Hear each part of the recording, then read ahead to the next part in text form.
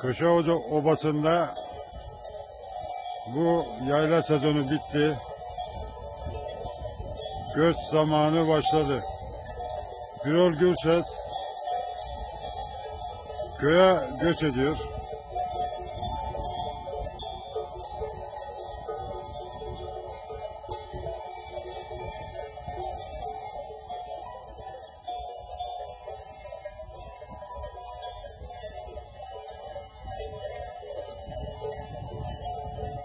Böyle bir dumanlı hava.